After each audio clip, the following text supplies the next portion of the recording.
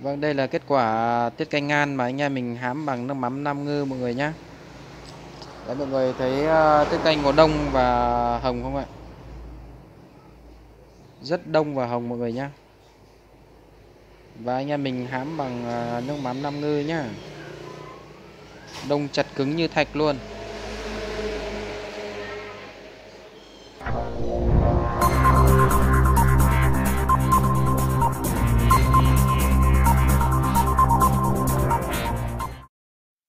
Xin chào tất cả mọi người đã đến với video tiếp theo của anh em mình nhé Vâng hôm nay à, anh em mình sẽ chia sẻ cho tất cả anh chị em và các bạn về cách hãm tiết canh ngan bằng à, nước mắm Nam Ngư. Vâng hôm nay tôi sẽ sử dụng một chú ngan rơi vào khoảng hơn 2 cân và tôi à, sẽ pha hai thìa canh nước mắm Nam Ngư và 4 thìa canh nước đun sôi để nguội để hãm mọi người nhé mọi người cứ tính tương ứng là ờ, à, 1 kg ngan hoặc vịt thì các bạn sẽ đong với à, một thìa canh nước mắm. Đấy tương ứng với một thìa canh nước mắm và các bạn pha với hai thìa nước đun sôi để nguội. Đấy ví dụ như là 3 cân thì các bạn sử dụng 3 thìa như này. Còn hai cân hoặc hơn 2 cân một chút thì các bạn cứ sử dụng khoảng hai thìa đầy này. Đấy hai thìa đầy này là sẽ tương ứng với uh, chú ngan rơi vào khoảng 2 cân hoặc hơn 2 cân một chút. Đấy. Và mọi người ờ, xem video thế hay đừng quên bấm like và ai chưa đăng ký kênh nhớ đăng ký kênh để ủng hộ cho anh em mình nhé và ai uh, uh, xem video mà thấy cần uh, góp ý hoặc là ủng hộ cho anh em mình thì hãy để phần comment phần bên dưới mọi người nhé Và bây giờ anh em mình sẽ chia sẻ cho mọi người về cách uh, cắt tiết và giới thiệu với uh, các bạn về cách um, cắt tiết để làm sao cho được nhiều tiết và tiết nó hồng nhé. Thì mình sẽ dùng phương pháp là cắt ở nách mọi người nhé. Đây là cắt ở nách.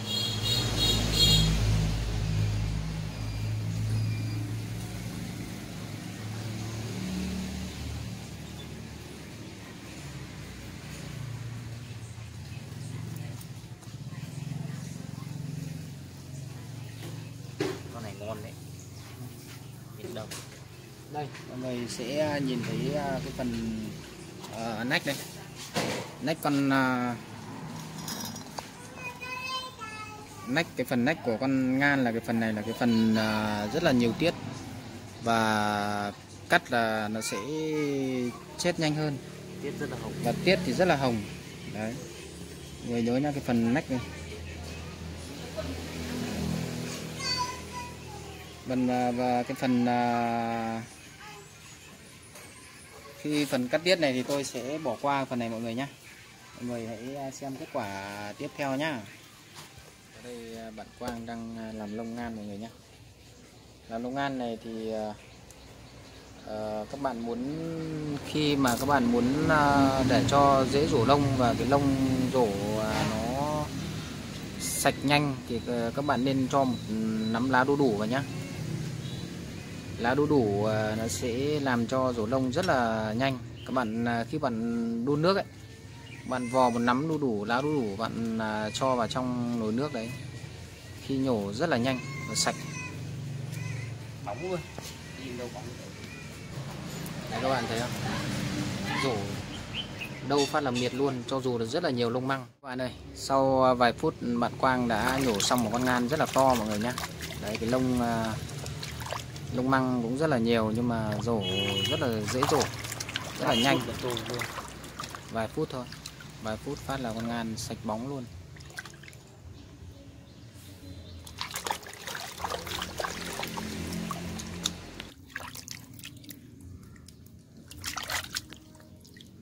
Giới thiệu với các bạn nhá đây là anh em mình đang à, vào công đoạn à, băm bổi rồi nhá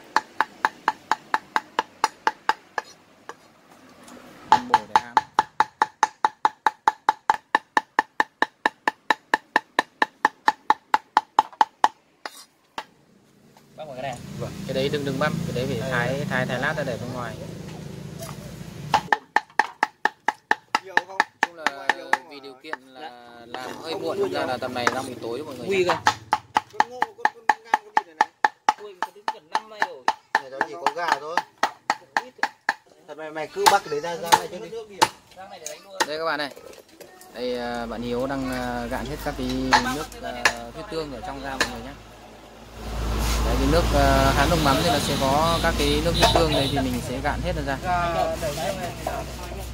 Để chung Ok, thế, thế, thế thôi, thế thôi, thế thôi, chỉ cần đấy ok. Đấy, gạn hết các cái ra. Đây là huyết tương. Cái nước huyết tương mọi người nhá. Đấy hãng nước mắm nó sẽ có cái nước đấy. Các bạn đây đây là gia vị nhá rau húng thơm. Các bạn cho vào rất là thơm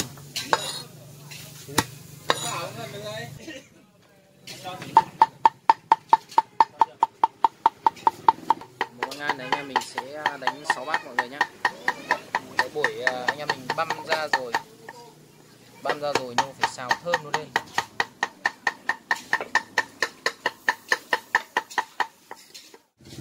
Đấy, cho thơm cho luôn vào trong à, bát tiết canh nó sẽ thơm ngon hơn mọi người nhé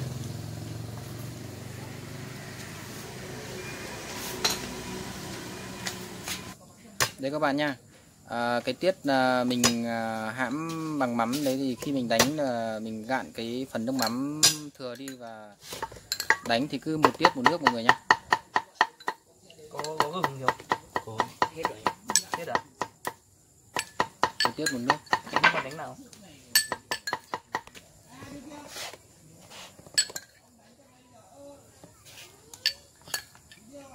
Hơi tối nhỉ? Tối mất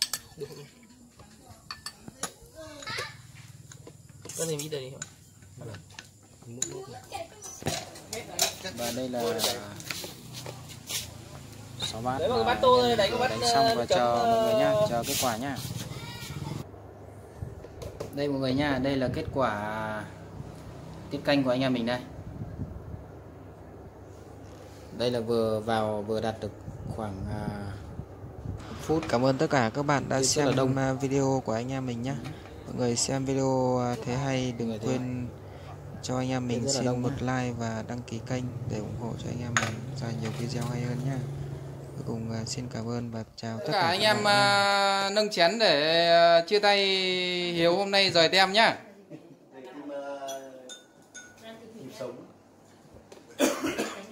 Nhịp sống 24 giờ có nghĩa là từ video sau là sẽ thiếu đồng chí Hiếu.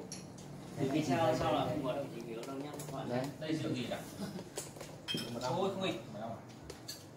Không không, không phải à,